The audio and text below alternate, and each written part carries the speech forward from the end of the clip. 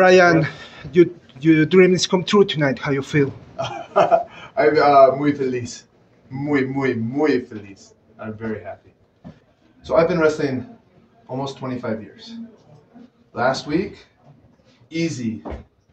One of the top five experiences my entire career. Tonight, the same. Uh, sometimes we wrestle and we're aggressive and we fight and then we come back and we have uh, a high and energy. But tonight I went out aggressive, we fight, and I just feel my heart, everything in my heart.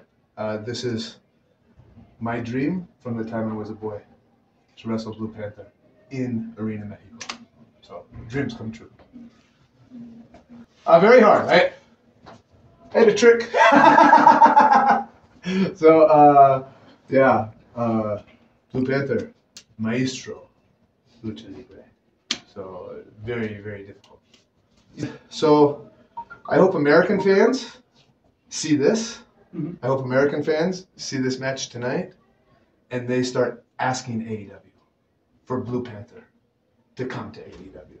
Because maybe not just against me, but against many AEW wrestlers, I think people would really like it. There's many CMLL wrestlers who are incredible, who I think American fans want to see in AEW.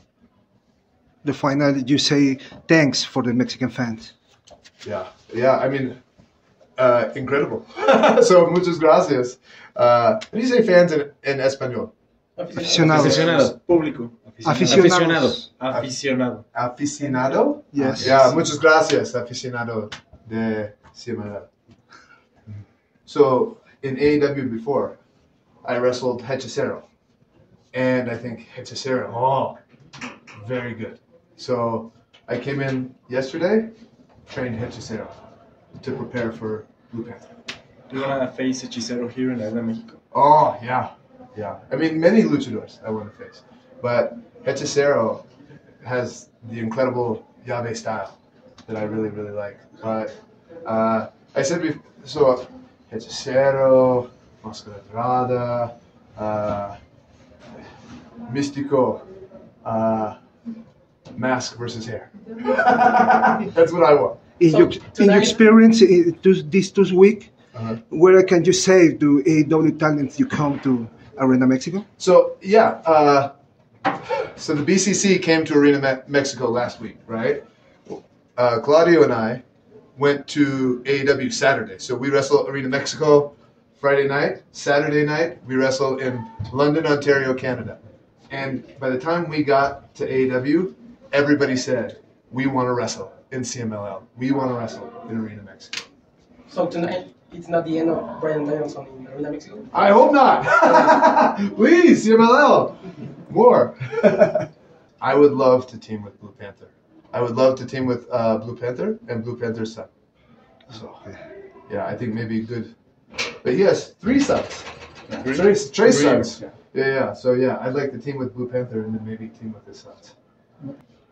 So before I was forced to retire, and when I would wrestle before before that, I would always have uh, tension when I'd go out and wrestle. When I came back, now relax and I enjoy. So my ability to go out and wrestle and enjoy wrestling Blue Panther felt here. And then afterwards, he lifts me on my shoulders in Arena Mexico. Ah! Amazing! Last week, this week, same.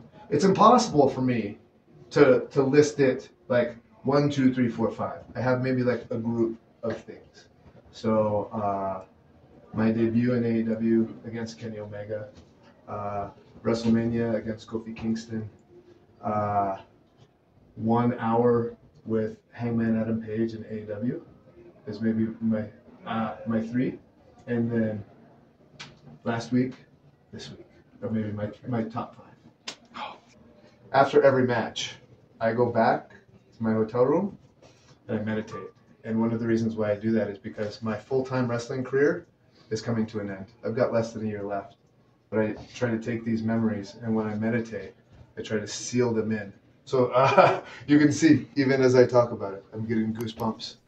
Just the feeling, because you can't do this forever. And then, but when you're done, you want to be able to remember it and remember not just what you did, but the feeling of what you did.